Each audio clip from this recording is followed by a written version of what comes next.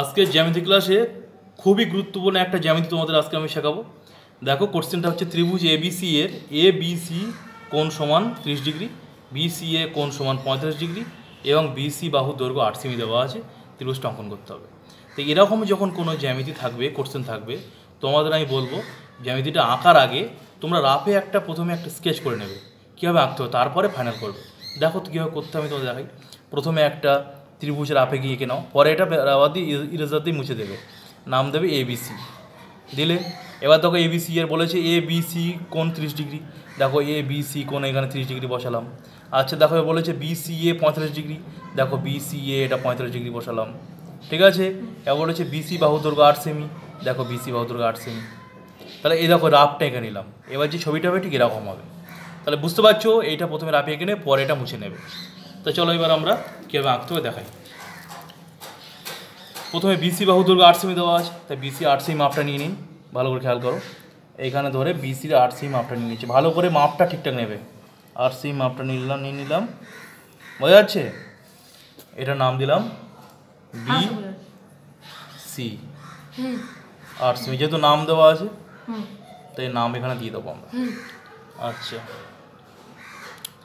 এবার বড় একটা রেখা টানবো। হুম হুম যার নাম দেবো বি এক্স হুম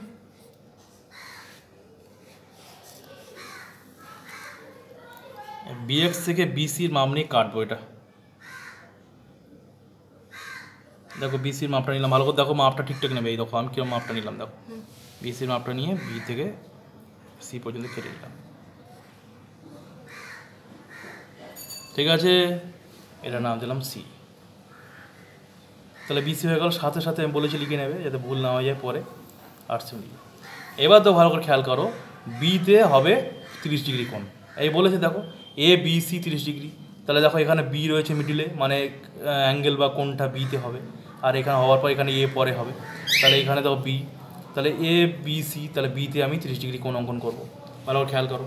তিরিশ ডিগ্রি মানে ষাটের অর্ধেক। তাহলে বিতে প্রথমে ষাট ডিগ্রি অঙ্কন করব। এই দেখো ষাট ডিগ্রি অঙ্কন করলাম এই একটা বৃত্তচাপ নিলাম এই যে। নিয়েছি এই একই বাম নিয়ে এখানে ধরে কেটে নিলাম। হয়ে গেল ষাট ডিগ্রি এখান থেকে ষাট ডিগ্রি। এবার এই ষাটটাকে সমদ্বিগুণিত করব। এই মাপটা নিয়ে আবার এখানে একটা বৃত্তচাপ নেব এই আবার খেয়াল করে আবার একটা বৃত্তচাপ নিলাম। নিলাম একই মাপ নিয়ে আবার এই ষাটে ধরে আগের বৃত্তচাপ দেখো ছেদ করল এই তাহলে ষাটের অর্ধেক তিরিশ হয়ে গেল। এবার এই লাইনটাকে বাড়িয়ে দেবো আমরা। ভালো করে দেখো এই মাপগুলো ঠিকঠাক নেবে। যখন বাড়াবে এখানে একটা পয়েন্ট মতো নিয়ে তারপরে বাড়িয়ে দেবে। বাড়িয়ে দিলাম বড় করে। সাথে সাথে এখানে লিখব তিরিশ ডিগ্রি যাতে পরে ভুল না হয়ে যায়। আচ্ছা এবার সিতে দেখো বলেছে বি সি এ পঁয়তাল্লিশ ডিগ্রি। মানে সিতে পঁয়তাল্লিশ ডিগ্রি হবে। ছবিতেও আমরা দেখেছিলাম যে সিতে এখানে ফর্টি ফাইভ ডিগ্রি হচ্ছে। তা পঁয়ত্রিশ ডিগ্রি কার অর্ধেক? নব্বইয়ের অর্ধেক। তাহলে প্রথমে আমরা সিতে একটা নব্বই ডিগ্রি কোণ অঙ্কন করব। ভালো করে দেখো। সিতে একটা নব্বই ডিগ্রি কোণ অঙ্কন করছি। এখানে একটা বিদ্যুৎ মানে এ ধরে একটা মাপ নিয়ে বিদ্যুৎ করলাম। তারপরে ভুল করে এ পাশ থেকে মাপ নেবে না। কারণ দেখো আমাদের যা জ্যামিতিটা ছবিটা হচ্ছে এই পাশে কিন্তু বি থেকে সি পর্যন্ত। সি এক্স তো বাইরে বেরিয়ে আছে। তাহলে এ পাশে ভুল করে করতে যাবে না, তাহলে কোনটা বাইরে বেরিয়ে যাবে কিন্তু? আমাকে এ পাশে ছেদ করেছে, এখান থেকে এই নিলাম। ষাট, আর এই হলো একশো কুড়ি, আর এই ষাট, একশো কুড়িকে সমদ্বিগণিত করছি, নব্বই হয়ে যাবে। এই বোঝা গেছে নব্বইটা কীভাবে আঁকলাম? তত নব্বইটা আরেক আঁকাটা দেখাচ্ছি।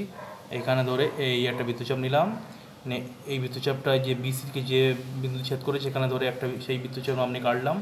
এখানে ধরে আবার এই কেটে নিলাম। নিয়ে সেই আপনি উপর এবং এখানে ধরে আর একটা বৃত্তচাপ নিলাম। তাহলে হয়ে গেল কত? নব্বই ডিগ্রি হয়ে গেল। এই নব্বই ডিগ্রিটা আমরা প্লাস করি, তবে পঁয়তাল্লিশ করতে সুবিধা হবে। দেখো পুরোটা তো প্লাস করার দরকার নেই। তাহলে আমরা লাইনটা এইভাবে টেনে নেব এইভাবে। কারণ আমাদের তো লাগবে ফর্টি ফাইভ ডিগ্রি তাই তো? এই ফর্টি ফাইভ ডিগ্রি লাগবে আমার, পঁয়তাল্লিশ ডিগ্রি তাহলে নব্বইটাকে পুরোটা লাইন টানা টেনে এইভাবে করে নেব। তাহলে আমার এই মাপটা নেওয়ার কথা ছিল, এইখান থেকে নিয়ে নিলাম, এটা হলো পঁয়তাল্লিশ ডিগ্রি নব্বই ডিগ্রি এখান থেকে এটা কত? নব্বই ডিগ্রি এবারে নব্বইটাকে সমদ্বিগুণিত করব। এইখান থেকে এই নব্বইয়ের মাপ নিলাম এই পর্যন্ত। নিলাম, এইখান থেকে দেখো দেখে না ভালো করে, নব্বইয়ের মাপি পর্যন্ত নিলাম। নিয়ে এই একটা বৃত্তচাপ, এখানে ধরে এই একটা বৃত্তচাপ। নিয়েছি বৃত্তচাপ তাহলে দেখো নব্বইটা দুটো ভাগে ভাগ হয়ে গেল। তাহলে এবার আমরা এটাকে বাড়িয়ে দেবো।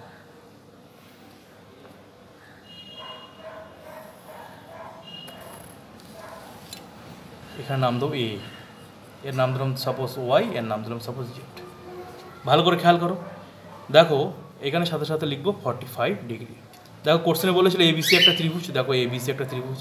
যার এবিসি তিরিশ ডিগ্রি দেখো তো এবিসি তিরিশ ডিগ্রি হয়েছে। ষাট ডিগ্রি থেকে অর্ধেক করেছি। আচ্ছা। আর দেখো বলেছে এখানে বিসিএ পঁয়ত্রিশ ডিগ্রি দেখো বিসিএ এটা নব্বই ডিগ্রি রেখেছিলাম নব্বইটাকে অর্ধেক করে পঁয়ত্রিশ করে নিয়েছি। এই পঁয়ত্রিশ হয়ে গেছে দেখতে হচ্ছে নাম দিয়েছি। বোঝা গেছে?